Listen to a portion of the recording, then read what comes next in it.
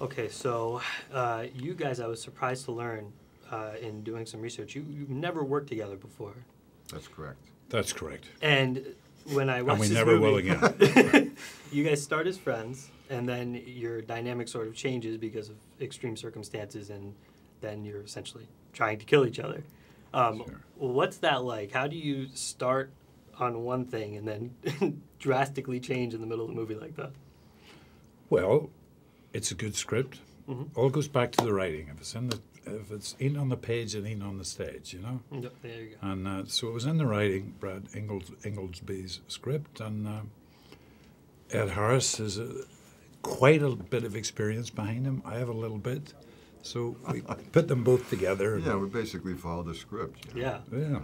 yeah. Um, and uh, there's really no good guys in this movie, well, except for maybe Joel Kinnaman's character. But everybody has done some pretty terrible things. Um, so I know that you guys have played, you know, some really tough roles before, like you know, tough guy roles.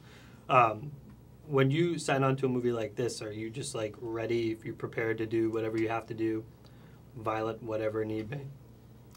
Well, I mean, you know, Liam's been doing the um, Taken film, so he he's into this kind. Of, he he knows how to like kill people and stuff. And not worry about it.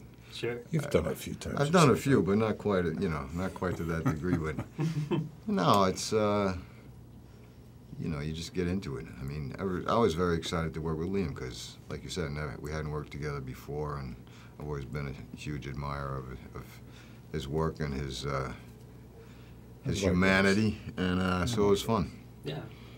Um, so, Liam, that's actually a good point. You in the recent years, you've sort of reinvented yourself, kind of as an as an, a big action star. People like love you as an action guy. I didn't really. It's all a fluke. You know, one day you get a script and you think, "Oh, this would be good to do," and you do it, and you know, people like it, and Well, there must be a lot of fun in it, though. oh, there's a lot of fun. Yeah, yeah. I'm not knocking it at all. My gosh, no.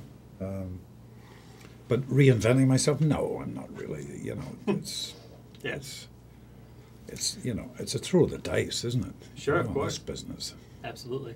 Um, and also, I wanted to ask you, Ed, just sort of clear the air. I know that there's there's a rumor going around the internet right now that um, you actually might be involved in a, uh, a comic book movie called The Suicide Squad. And I was going to give you the chance to clear the air. I haven't heard about that yet. No, no. Yeah, so we can go ahead and debunk that. Yeah. I- Okay. yeah, I mean, it's news to me. Yeah, that would be cool if you did, though. Yeah, it sounds fun. I don't know. And uh, Nice to meet Liam, um, uh, have you seen the Star Wars trailer? Uh, no, I haven't. No. No, I didn't know it was out. Yeah, I think you should come back as like a Jedi ghost or something like that. We didn't get enough Qui Gon the first time around. Do you think so? Yeah, I want more Well, Qui Gon. I've I, I haven't had any calls, so I'm assuming they've moved on. You know.